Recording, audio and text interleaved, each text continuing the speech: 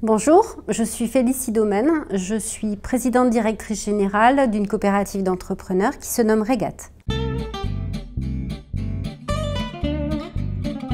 Regat, c'est une coopérative d'entrepreneurs, ce que l'on appelle communément une coopérative d'activité et d'emploi.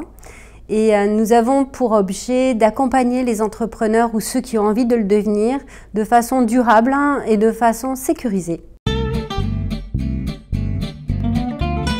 Au démarrage de l'idée de l'expérimentation, le problème se posait sur le nombre d'échecs des créateurs d'entreprises dans notre pays. Il a fallu trouver la solution qui pouvait et à la fois laisser l'autonomie, la liberté à l'entrepreneur d'être entrepreneur indépendant et d'avoir cet esprit d'entreprendre et cette motivation qui est la leur, et en même temps de trouver la solution pour les protéger, pour les sécuriser, pour les accompagner. Donc on a inventé quelque chose qui s'appelle l'entrepreneur salarié et avec le temps, nous avons eu la chance de voir ce statut être reconnu par une loi. Donc les coopératives d'activité et d'emploi sont nées. C'est un nouveau modèle de rapport au travail qui concerne surtout euh, l'entrepreneuriat et c'est également maintenant une forme qui s'est euh, dupliquée à travers le pays, il y en a partout. La base, c'est la comptabilité, l'administration des entreprises. Et le hasard de la vie a voulu que je rencontre euh, des personnes qui étaient dans la recherche, dans l'expérimentation. Et ils m'ont appelé en fait à venir les rejoindre dans ce petit groupe pour réfléchir à la meilleure solution.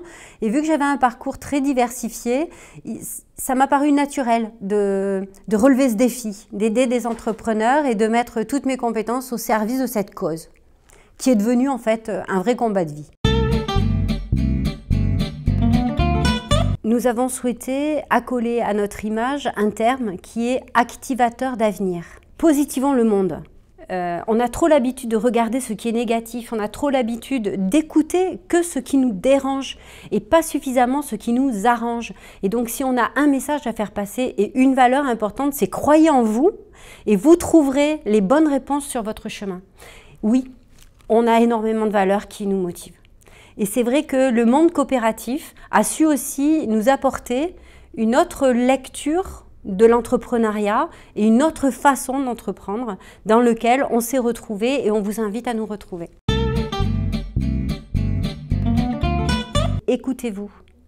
Posez le plus et le moins de votre idée, de votre projet et cherchez autour de vous les gens qui vont venir étoffer votre réflexion, vous faire grandir dans votre réflexion. Ce que vous vous trouvez comme des avantages, en quoi sont-ils des avantages et comment vous pouvez vous appuyer sur vos avantages? Ce que vous considérez comme des freins ou comme des obstacles, pourquoi aujourd'hui ce sont des freins et des obstacles et comment vous pouvez faire pour y répondre? Peut-être sortir un petit peu de, ces sentiers qui sont tout faits et se dire est-ce qu'il y a une autre façon de faire? Et dans le monde de l'économie sociale et solidaire, c'est justement ce que l'on essaie de démontrer et que l'on essaie d'accompagner, c'est une autre façon d'entreprendre. Le, euh, le monde n'est pas que celui que l'on connaît, mais il est bien au-delà. Donc avant de prendre ces décisions, allez voir ce qui se passe à côté, allez voir ce qui se passe dans les solutions alternatives qui sont les vôtres. On dit souvent que choisir, hein, c'est renoncer, mais choisir aussi, c'est s'ouvrir. Et euh, avant de choisir, élargissez euh, votre champ de réflexion et votre champ de, connaissances pour mieux choisir ce qui est la décision à prendre pour vous demain.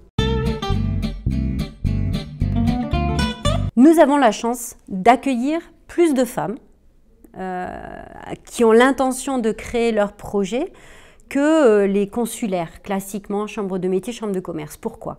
D'abord parce que les coopératives d'activité et d'emploi ont une écoute plus importante et que les femmes ont besoin d'être entendues parce qu'elles ont toujours ce souci de concilier la vie personnelle et la vie professionnelle. Et ça, c'est le premier frein à l'entrepreneuriat féminin. Une femme, quand elle répond à une offre d'emploi, il faut qu'elle ait 80% des compétences. Sinon, elle n'ose même pas se présenter à l'offre. Un homme avec 20% des compétences va largement se présenter à l'offre. Moralité, on ne part pas égaux les femmes ont besoin d'être toujours au top avant de se présenter à quelque part. Et de fait, c'est de la discrimination personnelle. Donc, mesdames, si vous avez envie d'entreprendre, n'hésitez pas. Venez bien sûr en coopérative d'activité où vous trouverez une écoute euh, bienveillante pour vous accompagner dans votre projet. Mais si je peux vous envoyer un message, c'est surtout faites passer le mot, entreprenez, parce que le monde, la société a besoin des femmes entrepreneurs. Donc allez-y.